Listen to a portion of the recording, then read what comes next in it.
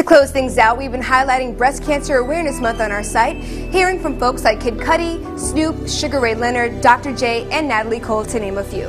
This time around, we hear from director slash writer of Lackawanna Blues, the Tony Award winning actor Ruben Santiago Hudson, about his cancer connection.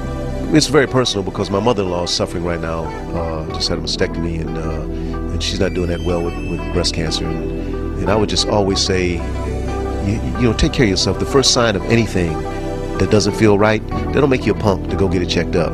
It doesn't make you weak or soft. And I know people talk about you can't afford this, can't afford that. And we have a president that's trying to do something about that right now. The point is take care of yourself. And, and, and, and at the first opportunity, if you feel that something's not right, look into it. Well, that does it for us, but be sure to log on to hiphollywood.com, follow us on Twitter, and check us out every morning at 11 a.m. Pacific Standard Time on Ustream when we do our daily dish.